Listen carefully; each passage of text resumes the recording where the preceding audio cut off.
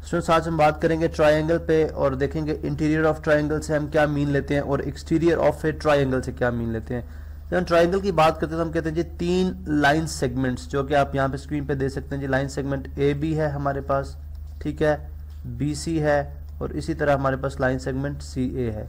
तीन line segments की union जो है बेसिकली ये कहलाती है हमारे पास ट्राई एंगल यानी close figure having three sides या हम यूँ कहते हैं कि type of polygon having three sides तो अब अगर आप देखें इसके अंदर तो अगर हम यहाँ पे पॉइंट ले लूँ ए पॉइंट है बी पॉइंट है सी पॉइंट है। अगर आप देखें तीनों नॉन कोलिनियर पॉइंट्स हैं, यानी अगर मैं यहाँ पे अगेन तीन नॉन कोलिनियर पॉइंट्स की इंटरसेक्शन को इंटरसेक्ट कर दूँ तो ये अंडरस्टूड बात है कि मेरे पास एक ट्राइंगल ही बनेगी, ठीक है? तीन नॉन कोलिनियर पॉइंट्स की इंटरसेक्शन से हमेशा ट्राइंगल बनती है, ठीक है?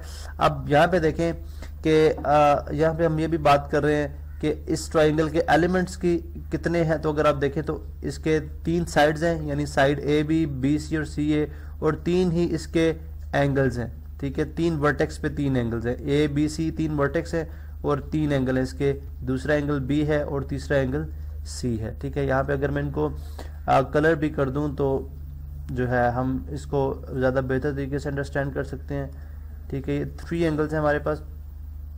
अब यहाँ पे जो बात ज़रूरी है वो ये कि क्या हमें देखना कि क्या ये जो तीन एंगल्स हैं, क्या ये ऑल इंक्लूडेड एंगल्स को डिटर्मिन करते हैं, या जो है अगर हम इन लाइंस को एक्सटेंड करें तो इस एंगल बी के अंदर और भी पॉइंट्स हैं जो इसके अंदर लाई करते हैं। लेट सपोज़ बिकॉज़ ये line segment actually combination of ये एक्चुअली ये लाइन से लिए गए हैं, ठीक है?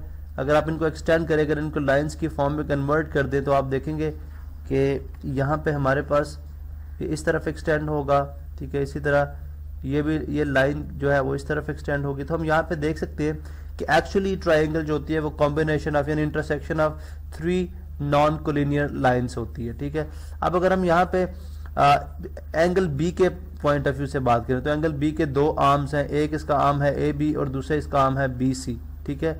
दूसरा इसका आर्म है बी सी तो अब अगर मैं लेट सपोज़ यहाँ पे एक पॉइंट ड्रॉ करता हूँ जो जिसको मैं क्यू का नाम दे रहा हूँ यहाँ पे एक पॉइंट ड्रा करता हूँ, जिसको मैं आर का नाम दे रहा हूँ। तो इसी तरह यहाँ पे एक पॉइंट है जो within the triangle lie कर रहा है, उसको हम पी का नाम दे रहा हूँ। अब यहाँ पे हम बड़ी, देखें क्लियरली हमें ये बात समझ आ रही है कि अगर हम इस एंगल बी के, जो कि, जिसके दो आर्म्स हैं, ठीक है, उसके अंदर बात करें तो ये सारा एरिया ठीक है, यानी अगर मैं इसको यहाँ से मज़ीद एक्सटेंड करूँ, ठीक है, और इस, इसको भी अगर हम फर्दर एक्सटेंड करें तो अगर आप देखेंगे इस तमाम का तमाम एरिया जो है, ठीक है, ये इसके एंगल बी के अंदर लाई करेगा। लेकिन जब हम ट्राइंगल की बात करते हैं तो पॉइंट क्यू और पॉइंट आर जो है, वो ट्राइंगल से बाहर लाई करते हैं। जस्ट पॉइंट पी जो है विद इन ट्राइंगल लाई करता है। यानी अगर एंगल बी के लिहाज से बात की जाए तो तीनों पॉइंट जो कि पी क्यू आर है, तीनों इस एंगल बी के अंदर लाई करते हैं। Interior of the angle lie करते हैं। लेकिन जब हम ट्राइंगल की बात करते हैं ट्राइंगुलर रीजन की बात करते हैं तो हम बात करेंगे जी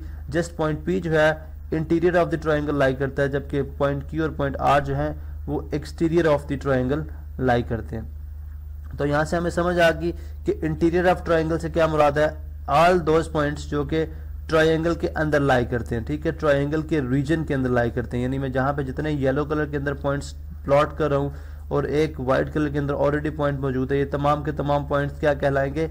Interior of triangle interior of triangle अब लेट सपोज़ कि अगर मैं कोई पॉइंट एक्सटर्नली यानी बाहर लाई कर, बाहर प्लॉट करता हूँ, जैसे मैं ग्रीन पॉइंट के साथ प्लॉट कर रहा हूँ तो हम ये तमाम पॉइंट्स पॉइंट्स को क्या बोलेंगे? ये तमाम के तमाम पॉइंट्स जो है वो exter exterior of the triangle पे लाई करें एक्सटीरियर ऑफ़ द ट्रायंगल में लाई करें तो एक्चुअली हम यू कहना चाह रहे हैं कि जो exterior of the triangle exterior of the triangle में पॉइंट्स लाई करते हैं, वो ट्राइंगल को एक केज में लिए होते हैं, यानी उसको एक जो है वो घेरे में लिए होते हैं। अगर आप यहाँ पे देखें तमाम ये पॉइंट्स वो हैं जो कि external exterior of the triangle में लाई करते हैं। और अगर इनके जो है क्रॉस पॉइंट इनके अगर अपोजिटली अगर आप येलो पॉइंट्स को देखें तो आप देखेंगे कि ये तमाम के तमाम पॉइंट्स हैं, वो inside the green points lie करते हैं। तो ये जो रीजन है, जो कि इनसाइड जो है रेज की जो